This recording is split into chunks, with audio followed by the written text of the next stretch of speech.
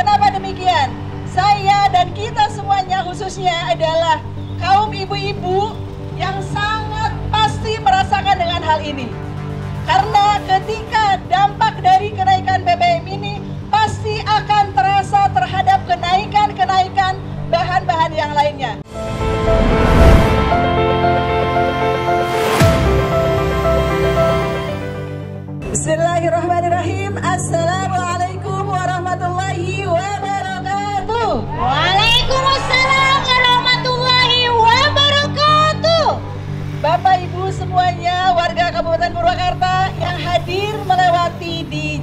Sadang ini sehat semua ya? Alhamdulillah. Sehat? Alhamdulillah sehat. Alhamdulillah. Insya Allah di pagi hari ini kami dari DPD PKS Kabupaten Purwakarta ingin bersama-sama dengan masyarakat luas menyuarakan menyuarakan tentang menolak kenaikan harga BBM bersubsidi. Kenapa demikian? Saya dan kita semuanya khususnya adalah kaum ibu-ibu yang sangat pasti merasakan dengan hal ini. Karena ketika dampak dari kenaikan BBM ini pasti akan terasa terhadap kenaikan-kenaikan bahan-bahan yang lainnya. Betul nggak Bu?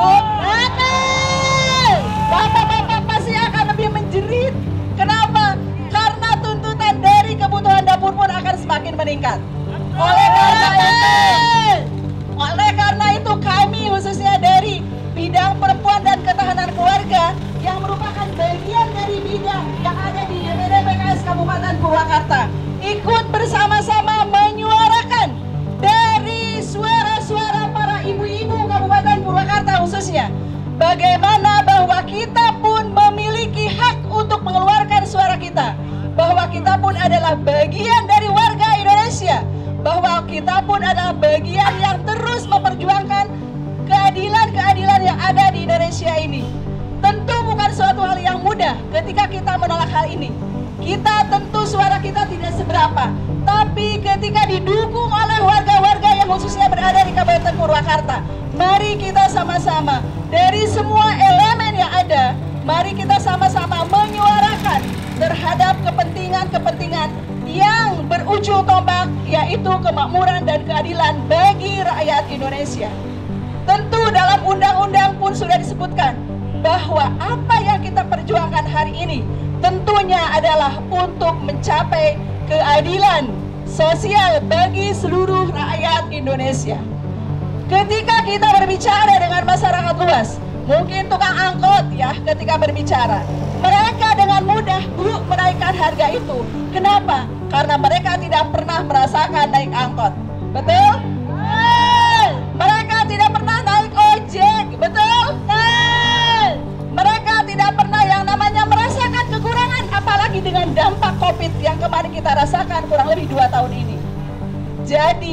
Begitu mudahnya untuk menaikkan harga BBM bersubsidi ini. Tentu kita berharap dengan semua ini adalah bagaimana pemerintah bersikap, bagaimana pemerintah adalah lebih memperlihatkan terhadap gejolak yang ada di bawah. Insya Allah Bapak Ibu semuanya yang ada di Kabupaten Purwakarta Kami memang jumlahnya sedikit Yang duduk di pemerintah pusat Kami mungkin suaranya tidak didengar Tapi ini adalah bentuk kontribusi Kami berjuang bersama-sama Berada di barisan rakyat Indonesia Setuju kira-kira teman-teman? Setuju. Setuju? Setuju. Maka insya Allah dengan kegiatan ini di pagi hari ini, ini adalah merupakan, merupakan sikap dari konsistensi kita terhadap perjuangan yang ada di Indonesia ini. Mungkin teman-teman kita jangan lelah terus untuk menyuarakan, kita jangan lelah untuk terus berada bersama dengan rakyat Indonesia khususnya di Kabupaten Purwakarta. Banyak mereka yang harus kita dengar suaranya. Banyak mereka yang harus kita dengar dan bahkan kita bantu apa yang bisa kita lakukan khususnya untuk kaum ibu-ibu. Tidak perlu dengan cukup, tidak sepertinya tidak cukup dengan kata sabar. Betul nggak? Belanja cukup dengan kata sabar? Tidak. Tetap ketika kita bayar harus memakai uang. kita sementara sementara dari pendapatan tidak ada kenaikan, tetapi harga melonjak tinggi. Kebutuhan semakin banyak, pendapatan tetap saja. Nah, ini adalah bagian dari bagaimana teman-teman khususnya dari partai lain bisa bersama-sama menyuarakan bersama-sama dengan Partai Keadilan Sejahtera bahwa ini adalah kepentingan kita yang sesungguhnya yaitu menjadikan negara baldatun tayyibatun warabbun ghafur. Insya Allah semoga itu dengan aksi kita di pagi hari ini bisa merupakan memberikan secercah apa ya secercah pengharapan kepada pemerintah Indonesia bahwa kita insya Allah menjunjung tinggi yang namanya nilai-nilai keadilan. Nah mungkin itu teman-teman yang dapat saya sampaikan sekali lagi buat para kaum ibu karena kita semuanya insya Allah bagian yang tahu tentang unsur-unsur dapur. Betul? Betul nggak Bu? Betul! Unsur-unsur dapur, kebutuhan dapur. Apalagi dengan kenaikan harga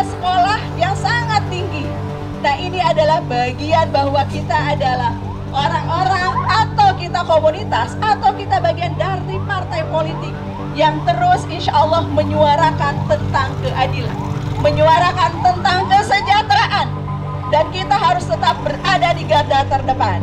Merdeka! Merdeka! Merdeka! Merdeka! Merdeka! Merdeka! Insya Allah ke depan kita menjadi orang-orang yang merdeka secara finansial. Amin, amin ya Allah ya Rabbal Alamin.